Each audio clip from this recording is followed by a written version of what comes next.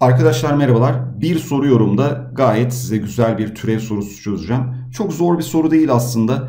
Dikkatli olarak arkadaşların kolaylıkla yapacağını düşünüyorum. Ama özellikle kafası karışanlar türevin grafiğinde bazen bu yorumlarda sıkıntı yaşayanlar için de faydalı olacağını düşünüyorum. Kesinlikle bir çözmeye çalışın.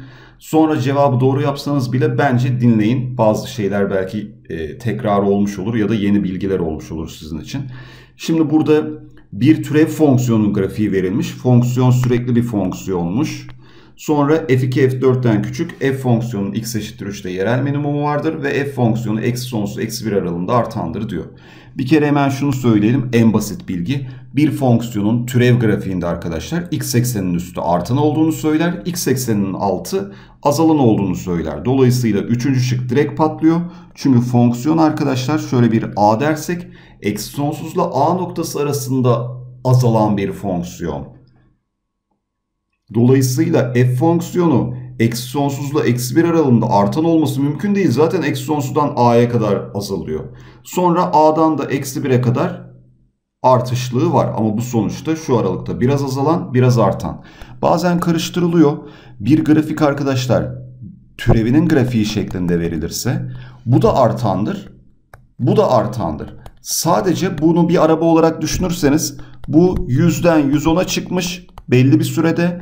Bu 100'den 200'e çıkmış. Yani bunun hızlanması daha hızlı. Bunun hızlanması biraz yavaş. Mevzu bu ama sonuçta hızlanıyor.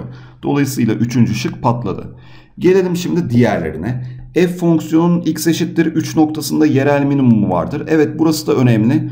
Türevde arkadaşlar türevin işaret değiştirdiği nokta yerel ekstremum olduğu noktadır. Gerçekten de bakın şöyle bir tablo yaptığımı düşünün. 3'ün sol tarafında türev negatif, 3'ün sağ tarafında türev pozitif. Dolayısıyla işaret değişmiş. Burada türev olması önemli değil. Bu fonksiyonun e, azalıştan artışa geçtiğini söyler. Nasıl bir grafik olabilir bu? Temsili olarak gösteriyorum bakın. Böyle azalmıştır, azalmıştır. 3 noktasında sivri nokta vardır. Sivri nokta olduğu için türev yoktur ama artışa geçtiği için de böylece arkadaşlar türevin işareti değişir. Dolayısıyla bu doğru. F2 küçüktür F4. İşte benim için yıldızlı kısmı sorunun burası. F2 küçüktür F4'ü grafiğe bakarak anlayamazsınız. Direkt anlayamazsınız yani şu görüntüden. Çünkü fonksiyonun türevinin grafiğini biliyoruz. Türevinin denklemini bile bilmiyoruz. Oradan yola çıkarak ben nasıl bulacağım e, fonksiyonun kendi denklemini gideceğim F2 ve F4'ü yerine yazacağım. Büyüktür küçüktür anlayacağım. Ne yapacaksınız? İntegrale başvuracaksınız. Çünkü arkadaşlar integral f türev x dx 2'den 4'e kadar bize neyi anlatıyor? İntegrali olduğu zaman türevin gördüğünüz gibi fonksiyonun kendisi oluyor. fx 4 2, 2'den 4'e kadar f4 eksi f2. Aynı zamanda integral nedir? Eğri altında kalan toplam alandır. Dolayısıyla arkadaşlar eğer eğri altında kalan toplam alan negatif olursa f4 f2'den küçük olacak. Eğri altında kalan alan pozitif olursa f4 f2'den büyük olacak. Bakın şimdi 4 noktasını şöyle düşünelim. Şu kırmızı bölgenin alanı şurasının 2 bile olduğunu düşünseniz 2 artı 2 4 4 çarpı 1 bölü 2'den 2 yapar ki burası 2'den büyük olduğu kesin yukarıya doğru gidiyor. O zaman bu kırmızı bölgenin alanı 2'den büyük bir alan. Sonra gelelim arkadaşlar şu 2 ile 3 arasındaki alana bakın burasının integrali negatif.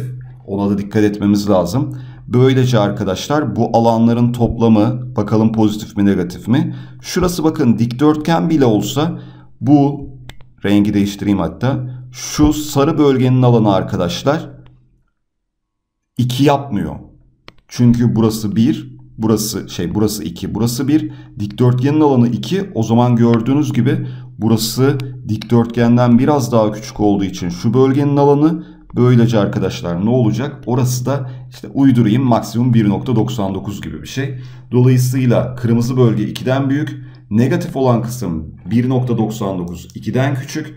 Böylece f4 eksi f2 pozitif bir sayı gelecek. Bu da bize f2'nin f4'ten küçük olduğunu söyler. Türev görünümlü bir integral yorumu yaptık. Bununla ilgili geçmiş zamanda bir çıkmış soru da vardı arkadaşlar. O yüzden dikkat etmenizi tavsiye ediyorum. Yeri geldiğinde türev fonksiyonlarından fonksiyona ulaşacaksanız integral mantıklı olur. Diğer videolarda görüşmek üzere.